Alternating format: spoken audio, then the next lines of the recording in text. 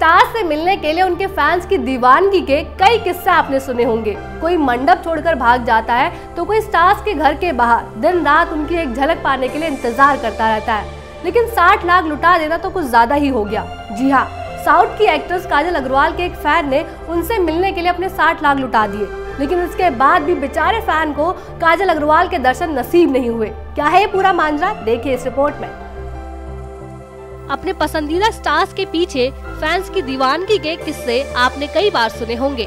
खासकर south film industry के stars को फैंस के प्यार का कई तरह से सामना करना पड़ता है। लेकिन ये सोचना मुश्किल है कि अपनी पसंदीदा एक्ट्रेस से मिलने के लिए कोई फ़ैन 60 लाख तक दाव लगा सकता है। ऐसा ही कुछ हुआ काजल अग्रवाल के साथ। काजल साउथ फ़िल्म इंडस्ट्री के साथ साथ हिंदी फ़िल्मों का बड़ा नाम बन गई है।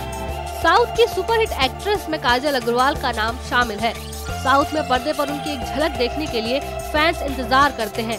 हालाँकि इस बार मामला 60 लाख तक पहुँच गया है। तमिलनाडु के रामानाथपुरम शहर का एक व्यक्ति काजल अग्रवाल का बहुत बड़ा फ़ैन है। ये व्यक्ति किसी भी हालत में काजल की एक झलक पाने के इंतज़ार में था। ऐसे में उसे एक वेबसाइट के बारे में जानकारी मिली। काजल से मिलने के लिए उसे एक वेबसाइट का पता चला। ये वेबसाइट काजल अग्रवाल से मिलने की जानकारी दे रहा था। वेबसाइट का कहना था कि वह फ़ैन से काजल अग्रवाल को मिलवाने का काम करता है। काजल के फ़ैन ने वेब पर इस संबंध में पूछताछ की।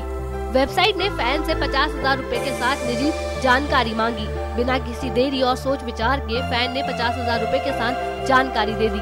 फिर क्या? पैसे मांगने का सिलसिला चलता रहा। फ़ैन लगातार पैसे भरता गया।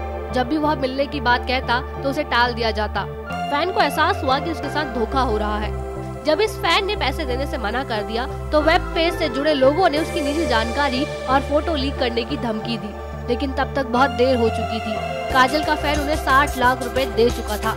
इस घटना के बाद फ़ैन तनाव में है। उसने अपना घर छोड़ दिया है।